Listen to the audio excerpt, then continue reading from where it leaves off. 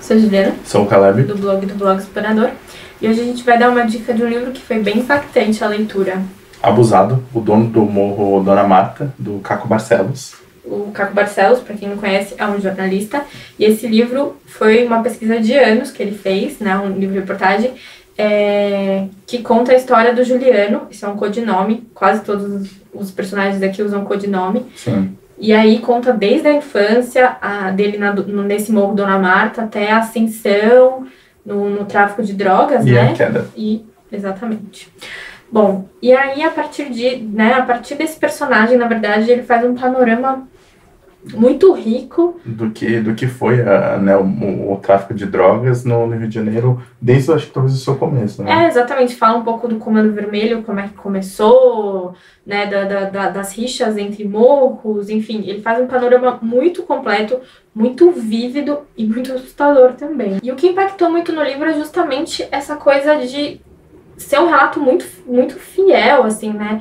Ele, você percebe que ele passou anos fazendo pesquisa, ele conta um pouco disso, assim, né? De como ele teve que ir atrás dos familiares e do. E é muito engraçado, são muitos personagens. É muita Assim, gente. é muita, muita gente. Ainda que ele, a história principal seja do Juliano, é, em algum momento ele começa a contar a história de todos os comparsas do Juliano. Tem uma hora, é muito, tem uma hora que é muito impactante, é, que são os amigos de adolescência do Juliano, e de como quase todos eles morreram muito jovens, assim. Exatamente. É, e o que, que se deu com quem não morreu, e, enfim, ele, ele consegue é, entrelaçar essas coisas, né? Exatamente, é uma grande teia e você vê que tudo vai, vai chegando a, algum, a um, aquele ponto em comum. né?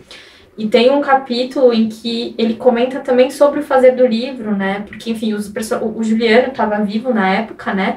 O Juliano seria o Marcinho VP, que foi morto em 2006 No presídio, né? num presídio, exatamente numa dessas brigas de facções. E, e o, o Juliano estava vivo quando o livro foi publicado, e, e o, assim, então, a questão ética, então ele fala muito sobre isso, e do, muita gente questionou, tipo, você então você tá mancomunado? Porque teve uma época que o Juliano era foragido da justiça e o, e o Caco conseguiu contato com ele. Tinha contato com ele. É, exatamente. então, até quando saiu o livro, o Caco foi muito criticado com essa relação, né? De como Exatamente. que você lidava. É, E aí você te- tem uma aula de ética jornalística que é fantástico. E aí nesse último capítulo ele fala justamente disso, os dilemas que ele teve. Então você tem a figura do jornalista fazendo esse livro e os dilemas que ele vai encontrando. Então, mas antes, em nenhum momento do livro, ele tá lá, né? não, em nenhum momento. o- o no máximo, nunca tipo, ah, eu fui visitar. Ele fala É, isso. E não- aí entra a pessoa falando. E aí entra a história da pessoa e, tipo, é, é muito incrível, gente. É, acho que é das leituras mais impactantes, assim, Sério, sabe? vale Tipo, muito a leitura. Abusado do Marcelo. Até mais. Até mais.